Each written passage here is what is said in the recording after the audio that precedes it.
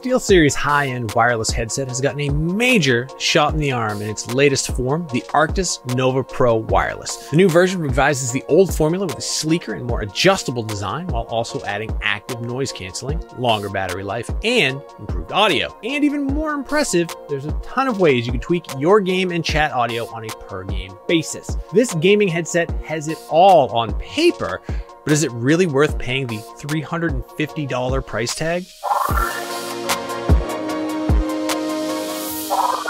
Arctis Nova Pro Wireless features a new design that diverges quite a bit from the existing Arctis line, which hasn't really changed since it debuted in 2017. The first thing you'll notice is the headband now features telescoping arms, so it can accommodate larger heads. The elastic headband strap is also a bit different. Now it connects to the metal headband with plastic snaps like on an adjustable baseball cap, letting you adjust the elastic band in three one centimeter increments. These set intervals offer less fine tuning as the old Velcro design, but on the plus side, because the elastic band sits beneath the metal headband, it also won't get dusty as quickly anymore. The ear cups are also noticeably smaller and thinner compared to the large oblong shaped ear cups of the older Arctis headsets. The new design makes it look less like you're wearing earmuffs, and this sort of stepped profile looks more stylish in my opinion. So much that it looks more like a sophisticated pair of wireless headphones from the likes of JBL or Audio Technica than a dedicated gaming headset. SteelSeries has improved on several of the onboard controls. The Arctis Nova Pro Wireless has large pill-shaped buttons that are well spaced around the ear cups. This is a nice improvement compared to the tiny M&M mini-sized power or Bluetooth buttons I'd have to feel around for on the old design. One of the old Arctis Pro Wireless standout features was its swappable rechargeable battery system that let you charge one battery while the other was in use. The Nova Pro Wireless improves on that system by making the batteries hot swappable. The headset packs capacitors large enough to keep it powered on while you toss in the second battery. The capacitors don't store enough charge to power the drivers and keep your audio playing without interruption, but it's nice not to have to turn the headset back on after a quick battery change. The inside of the ear cups also has switched from cloth-based air weave cushions to more sound isolating leather. Although the new material isn't as breathable, I never found my ears getting sweaty even after all day wear.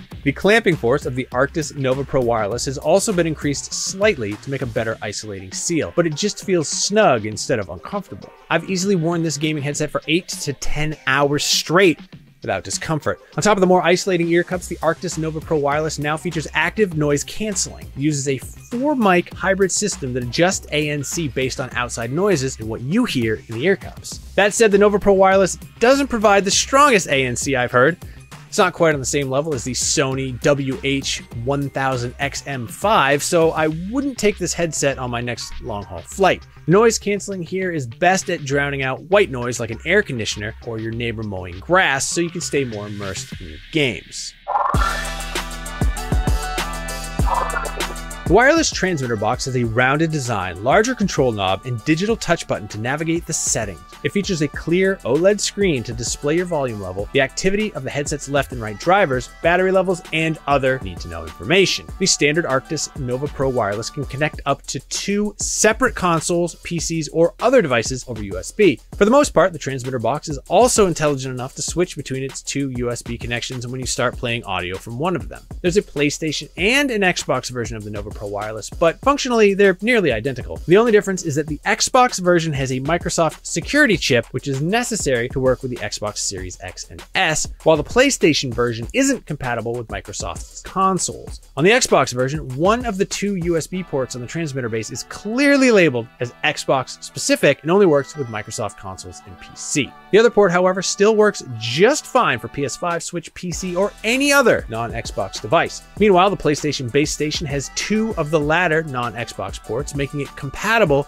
with everything except for Xbox. In other words, the Xbox version is compatible with both Xbox and PS5, while the PlayStation version doesn't work with Xbox. Both versions, however, work with Switch, PC, and other USB devices. Yet despite having wider compatibility than its counterpart, the Xbox version doesn't cost anything extra. So even if PlayStation is your primary console, I recommend getting the Xbox version if you have or ever plan to get an Xbox console. In our testing, the 2.4 gigahertz wireless signal between the headset and the transmitter box was lag-free and rock solid. I didn't hear a single signal drop, even if I went to a different room or floor. The Arctis Nova Pro Wireless also has Bluetooth to connect to a phone, tablet, or other devices. Better yet, you can play audio from your Bluetooth source and a single 2.4 gigahertz wireless source simultaneously. So you can listen to music and podcasts while lapping around Forza Horizon 5. One unfortunate change is you can't adjust the volume of your Bluetooth and 2.4 gigahertz wireless audio separately from the headset or the control box. The volume dial just uniformly changes how loud your headset is overall, so you have to go through the pain of individually adjusting the source volume of whatever you've connected to over your Bluetooth or your connected console PC device. Another annoyance is that turning the headset off via the power button doesn't turn off Bluetooth as well.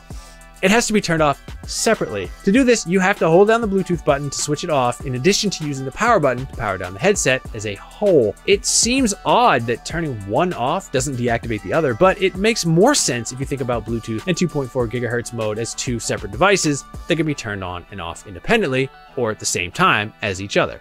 You could, for example, turn only Bluetooth on if you're taking the headset out of the house and wouldn't need the 2.4 gigahertz connection.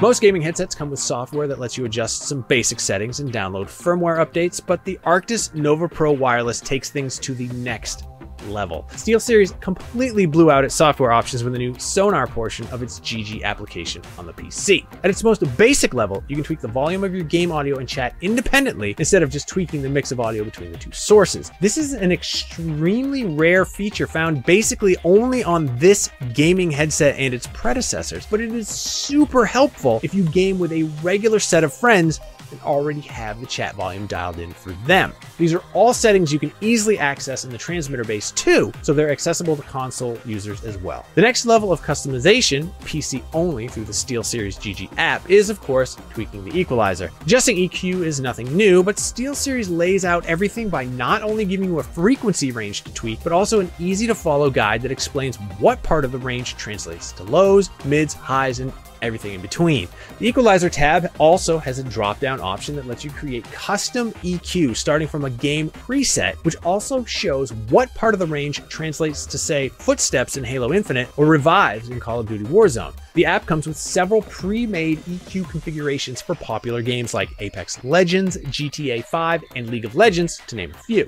SteelSeries also tells me it has plans to work with developers to master the way games sound on its headsets. Additionally, SteelSeries plans on introducing community shared mixes, so I expect the list of EQ presets will only grow larger with more games in the future. Tweaking the equalizer really does help elevate the sound and show how flexible the Arctis Nova Pro Wireless is. After switching on the preset for Halo Infinite, the soundtrack had noticeably more bass and gunfire echoed just a bit further. Forza Horizon 5 also had louder engine rumbles and screechier tire squeals after turning on the pre-made EQ preset for it, too. Beyond changing the way games sound, you can also change the way you and your friends sound over chat. Sonar gives you a slightly less intensive equalizer to play with that spans across a narrower 31 Hz sub bass to the 16 kHz highs range. Once again, you get presets to tweak the way you and chat sound for more clarity or more broadcast quality audio. There are also a few fun options that make you sound deeper or like you're talking from walkie-talkie. These options are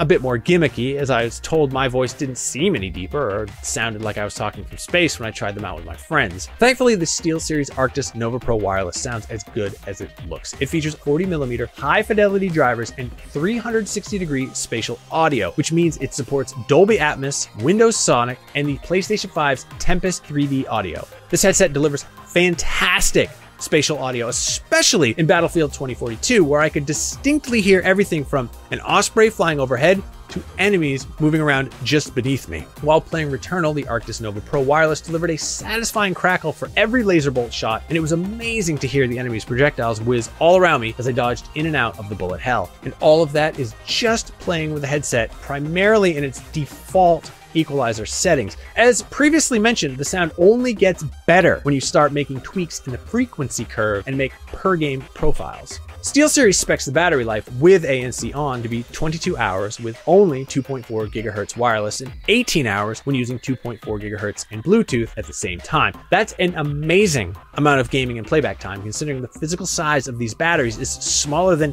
Ghirardelli mini chocolates. I strung up to four days of usage out of a single battery. It feels like it could be stretched out to 30 hours across five days with ANC turned off. Add in the fact that these batteries take just three hours to fully recharge inside the base, and you can hot swap between batteries without turning the headset off, and you can basically keep playing with this gaming headset forever. This is easily the most unique feature of this gaming headset, especially considering most wireless options have built-in batteries and need to be plugged in to charge. There's basically nothing else on the market that offers this type of functionality anymore.